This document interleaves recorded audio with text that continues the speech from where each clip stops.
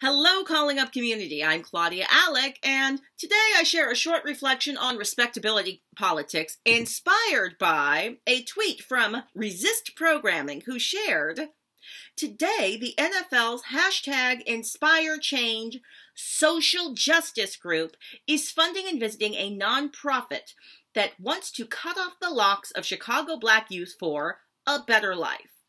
Now, this feels like a combination of philanthropic uh, giving that is meant to cover up um, more uh, negative aspects of the programming that is that is funding some of this giving.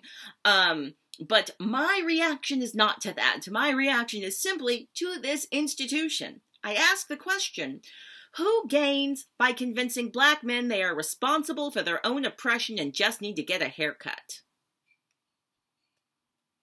An American narrative of personal responsibility exculpates those who use their power and privilege to maintain systems of domination. So, whenever someone's trying to convince you that, well, if only you would change your tone, or your grooming habits, or the way you dress, or the way you approach this thing, that's going to be what helps you to get ahead inside a system that is designed to make sure you never get ahead. Remember my tweet. Haircuts will not result in black liberation from white supremacy. Only dismantling white supremacy will result in black liberation. Although I don't know if uh, hashtag inspire change is going to want to fund that.